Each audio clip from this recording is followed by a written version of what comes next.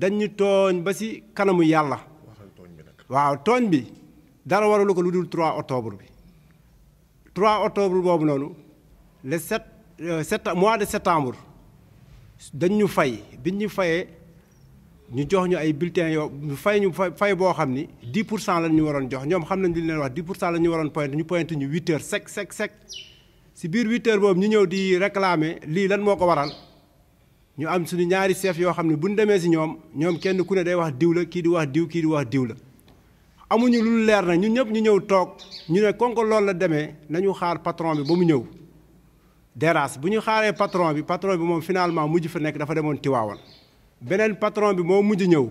Si bu mu ñëwee nag mu ne ñu léegi amul benn problème. Kon nii la cas bi demee amul benn problème dem leen ngeen ñibbi ba suba. Ba leen ñibbee ba suba ñun bu patron bi ñëwee daañu régler cas bi. Finalement ñu dem di xëy. Ñun foofu la ñu le 19 le 19 nag le 19 octobre si boppam gars yi woo ñu direction dañuy woo direction rek commencé ñu jox ay licenciement sans droit.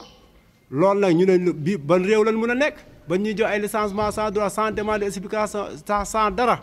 Loolu nag ñu lu loolu di woote wàllu.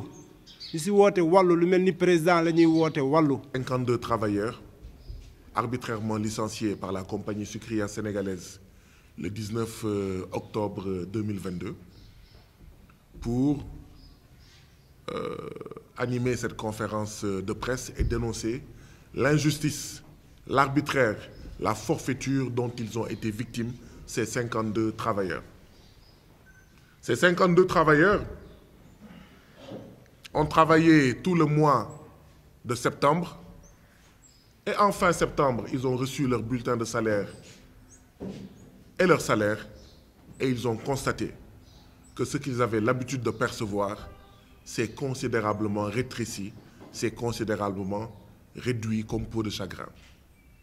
Pour vous faire une idée euh, des différences salariales, un travailleur qui avait perçu en fin, en fin août 85 000 francs s'est retrouvé en fin, euh, septembre avec 55 000 francs CFA.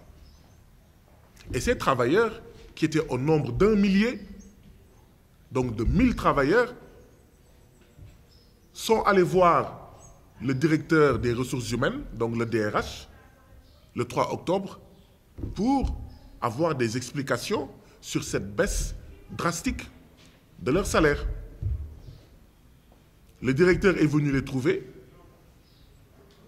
a discuté avec eux pour s'enquérir de la situation, et après, il a pris l'engagement que cela sera réglé. Grande a été la surprise de ces 1000 travailleurs quand le 19 octobre, c'est-à-dire donc deux semaines après, ils ont appris le licenciement de 52 travailleurs parmi eux. Certains sont ici présents, d'autres n'ont pas pu venir. Parmi ces 1000 travailleurs qui n'ont commis qu'un seul crime, celui de demander pourquoi nos salaires sont passés de 100 000 à 50 000, pourquoi nos salaires sont passés de 85 000 à 45 000, pourquoi nos salaires sont passés de 70 000 à 25 000, le seul crime qu'ils ont commis, eh bien, ces 1000 travailleurs-là ont vu 52 parmi eux être licenciés.